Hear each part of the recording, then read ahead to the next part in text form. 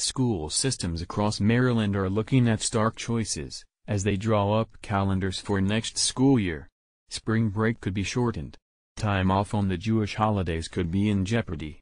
Extra days of instruction could fall away. In Montgomery County, with the state's largest school system, five scenarios are on the table as the Board of Education discusses the issue Tuesday.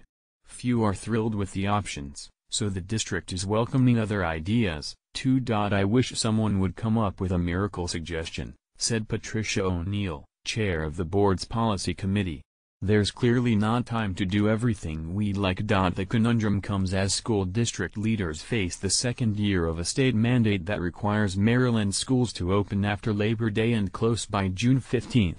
The schedule, ordered by Governor Larry Hogan R came as a way to extend summers for families and boost tourism and the economy. But school systems have struggled with the fallout. Some cut back on spring breaks or teacher work days for this school year. But many say that next year's calendar plan is more challenging as a result of yearly shifts in holidays and other dates, that make a condensed timeline even tighter. There aren't any really great options, said Rebecca Smondrowski, a school board member noting how much easier it would be if school let out a week later in June.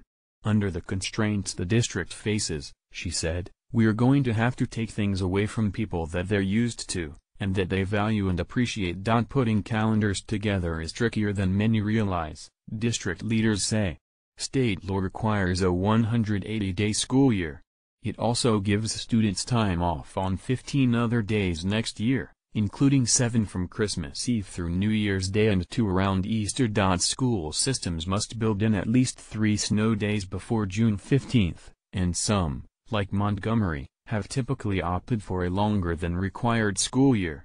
In many recent years, officials say, Montgomery has had a 184-day calendar. Some of the proposals for next year reduce that to 180 days. Personally, I think we are shortchanging children by using a shorter school calendar, O'Neill said.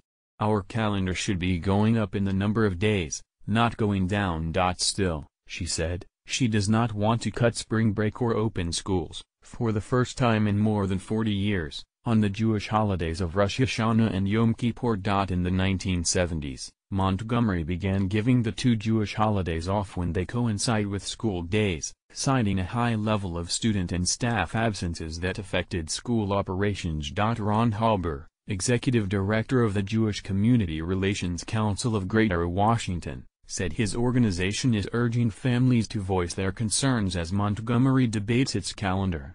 The two holidays are widely observed, he said, and having them off is critical. If schools were open on Rosh Hashanah and Yom Kippur, it is my belief that there would be an extraordinary rate of absenteeism, Halber said, also predicting an angry reaction. Dot, you're hitting people in their guts, you're hitting them on something they care deeply about. Creativity is going to be the solution here. Add a Muslim holiday? Remove a Jewish one? Schools debate calendars as diversity increases in recent years. Muslim community leaders have pushed for time off to mark one of their faith's major holidays, and last year, the school district moved a teacher workday to coincide with the Islamic holy day of Eid al-Adha. Others have advocated for time off on the Hindu holiday of Diwali. Montgomery set up a website to seek feedback on calendar possibilities, and more than 1,000 comments have poured in, according to O'Neill.